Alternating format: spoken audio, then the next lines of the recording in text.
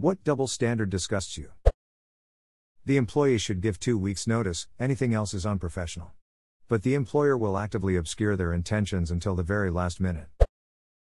Right now in Canada, we're in strict lockdown, but a dozen of our politicians have been found vacationing around the globe. In other words, we can't bury grandma at a funeral, but these politicians can go work their tan. Thankfully, many of them have resigned in the last two weeks. If you always arrive to work late, you're in big trouble. If work never finishes on time, shrug, no big deal. This is infuriating for me in a sales position. I constantly stay late or even have to come in on my off day to finish up a sale, because that's how I get paid. We still have scheduled hours, but me showing up five minutes late won't make a difference towards my paycheck because those five minutes definitely won't make me a sale. But they treat it like it's the absolute worst thing I could do. They've pulled up lists for each employee showing how many times we've been late by the minute. I was told I've been late eight times for a grand total of 15 minutes over the last six months. This includes from lunch breaks as well. And I was told this was unacceptable and put on a warning. This same thing was said to majority of our sales employees. But we get no praise for working over or in finishing deals. It's crazy.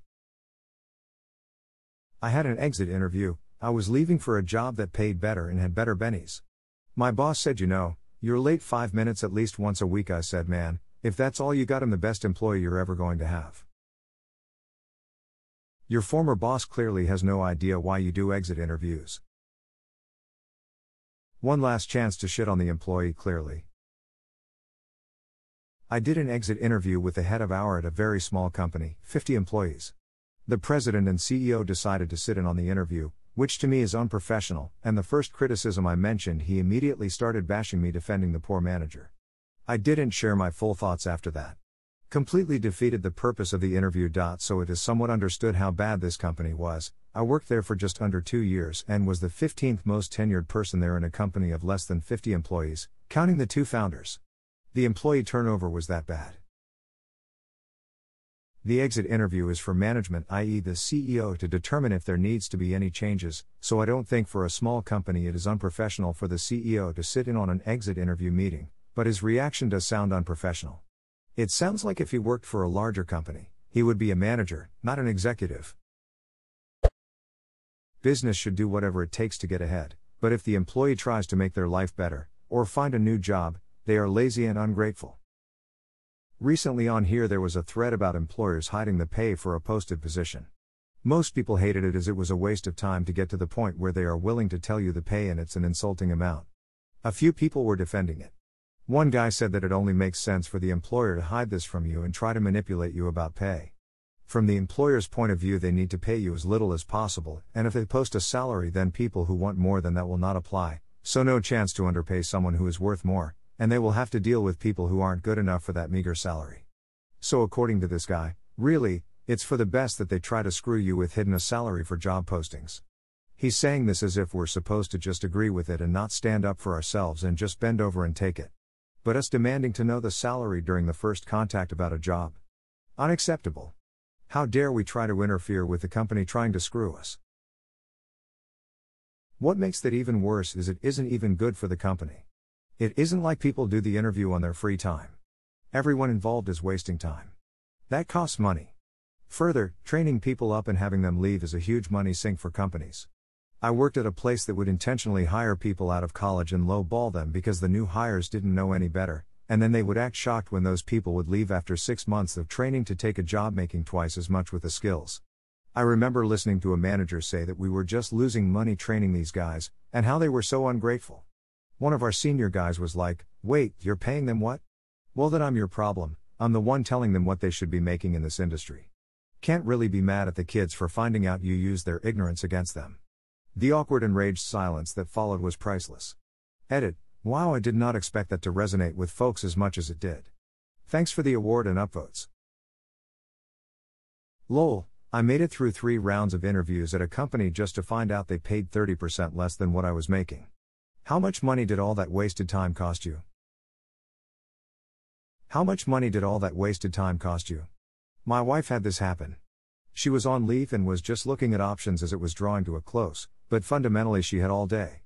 Five interviews occurred before they told her the salary. Five. With most of them being at least an hour long, with at least two people on. WTF were they thinking? It was so much company time and they were so below market with the rate she flat out did the math for them on how much company time they waste with their hiring process. Since it's COVID and we work from home, I got to hear her whole side from the next room, and it was fantastic. Unless it's some kind of executive position, five interviews is ducking insane. I had three interviews years back for a minimum wage driver's position. It's ridiculous. If you owe a company money, you will be charged IRS late fee service interruption almost immediately after the due date. If a company owes you money, you might see it in 4 to 6 weeks 2 3 billing cycles. When I leave a job, I'm generally expected to give 2 weeks notice so the company isn't left without essential things being done. When a company decides to let me go though, no warning to start putting in applications or saving more money. You're just gone. Total horseshit. Not in countries like Germany. It's harder for the company to get rid of you than you leaving. Similar in Australia, they need to give notice. I think I had one where it was one month notice, but they got around it by just paying me for the month and not having me come in as I could have been a security risk if I was disgruntled. Certainly didn't mind being paid for a month to not come to work. I've been made redundant twice. First time, they paid me out my final month. Second company made me work it. They wanted me to take my holiday as part of it, but it was at the start of COVID and I wanted cash in the bank, so I half assed the job for four weeks. A woman with her kids is taking care a man with his kids is babysitting. Politicians not following their own COVID guidelines. It has become rules for thee, but not for me. Banks businesses can immediately withdraw money from your bank account and apply all their disgusting fees. But for banks businesses to give you money, you have to wait 7 to 10 business days for the funds to appear. If I wake up at 4 p.m. and go to bed at 9 a.m., I'm lazy, do nothing all day, etc. Wake up at 4 a.m., bed at 9. You're seen as a responsible member of society. Doesn't matter if you work the exact same number of hours, make the same money, do the exact amount of housework. Ada, holy cheeseballs, this blew up. I can't reply to everyone. So I'll just add this. If you are just scrolling through the comments of the original post, please keep in mind that not everybody works a typical 8 a.m. to 5 p.m. job. Someone has to work the 24 hour jobs Walmart, Waffle House, the gas station, hospitals, emergency services, etc. If your house catches fire at 2 o'clock in the morning, you are not going to wait until 8 a.m., when typical jobs start to call somebody for help. Not everybody has the same circadian rhythm. I am one of those people, I have something that is called delayed sleep phase syndrome or delayed sleep phase disorder, depending on the severity. I simply don't feel tired when I unquote typical person would. I am not sleepy until after sunrise. No, I cannot just change my sleep schedule. Yes, I've tried whatever it is you're thinking about typing and suggesting, probably several times. It doesn't work, thank you for trying. I am content being me as I am. Finally, thank you so much for the awards. I thought it was a lot when I checked my messages and had 94 on the envelope. I 100% agree with this. My family always makes snide remarks about me sleeping late, but praise themselves for going to bed early. Like, okay, but I got a ton of shit done while you were asleep. Nobody ever says get a load of lazy bones here, off to bed in the middle of the afternoon. I worked an overnight shift in college and my roommates knew that but still acted like I was sleeping the day away. I actually get less sleep than anyone and time makes no sense. It was only three months, I don't see how anyone can live like that. Men versus women, guys as untrustworthy, skeevy characters around children. There was a guy who posted a while ago who portrayed my point exactly, about his experience being a teacher in infant school or something, can't remember exactly, but the kids were pretty young. He loved being a teacher to help them, give them a good future, and watching them learn and develop into smart kids. However, there were a couple of occasions he got pulled aside by the head teacher for being inappropriate. One of them being, taking a young girl to the classroom nurse's office and giving her some antiseptic cream and plaster for her scrapes, since she fell over in the playground. Purely because he was a guy he was told parents might feel uncomfortable about that by his own head teacher. Like leaving a crying, bleeding kid in the playground was a more appropriate idea than her own teacher helping.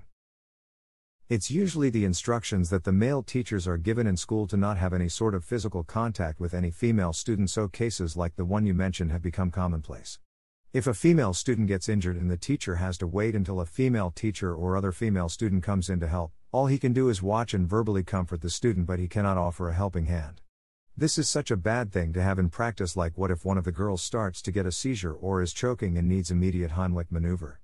A very harmful environment has been created for male teachers in schools.